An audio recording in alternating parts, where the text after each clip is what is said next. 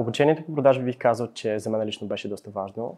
А, понеже когато стартирах своята кариера в нали, бившия Autobound, сегашния марки Стар България, аз нямах абсолютно никакви познания по селс. Абсолютно изобщо не знаех нали, какво и как се случва.